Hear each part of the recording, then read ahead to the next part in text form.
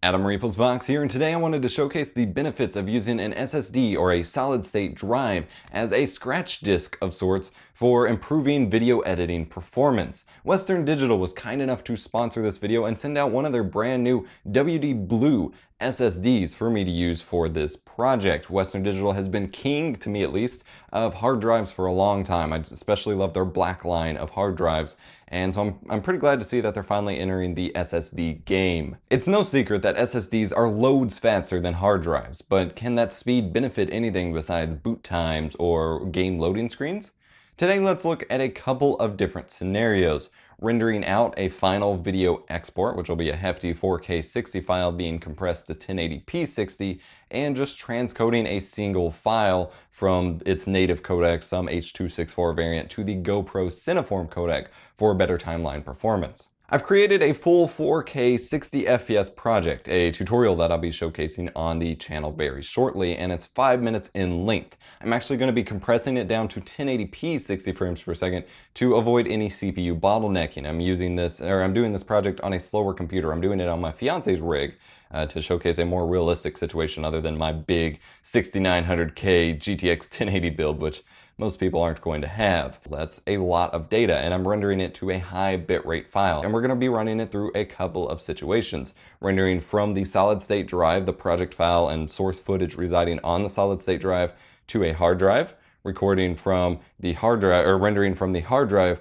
over to the solid state drive, rendering on the solid state drive itself if that was just if you only have one drive like on a laptop and you need to replace your hard drive with the solid state drive what that performance might be like and then the typical situation of just rendering from the hard drive to the hard drive itself to get what most people would probably experience as you can see, anything involving the SSD was loads faster than just rendering on the hard drive itself, but even just rendering on the solid state drive itself from the SSD to itself without changing drives or anything like that was still loads faster than the fastest time involving the hard drive, which was from the hard drive to the SSD. The WD Blue SSD has read speeds up to 545 megabytes per second and up to 525 megabytes per second write speeds.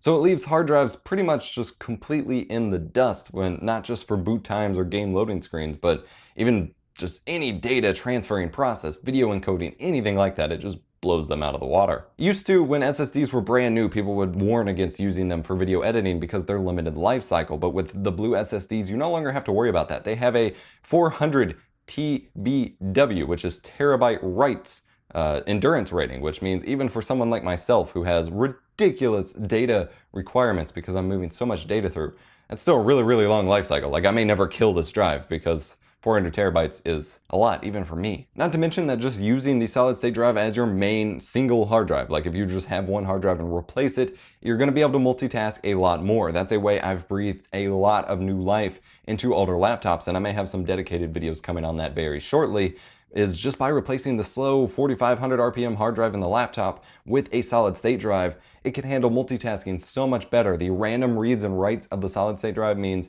running your OS, running programs, watching videos, playing games, rendering videos. It can multitask so much better because it can keep pinging the hard drive or the solid state drive in this case, much faster than the normal hard drive. If you've been running hard drives in your video editing rig, I definitely recommend at least setting up a solid state drive scratch disk. If you're like me, the mass data that I need, I can't currently afford solid state drive replacements for the sheer amount of storage that I need, but setting up a solid state drive scratch disk where you keep your active projects stored, the stuff you're working on right now, means your timeline is going to perform faster because it's able to read the video files off of the hard, off the solid state drive a lot faster, and your renders are going to improve so much. Your workflow is going to become a lot more efficient. I do hope this video was helpful for you. Thank you so much to WD for sponsoring this video, and thank you to you for watching it. Smash the like button if you enjoyed, and get subscribed for more awesome tech videos. Hopefully, getting back to a normal studio soon. A lot of work's been going into the new new studio, so I'm really excited to show you, but I can't just yet. Stay tuned for that.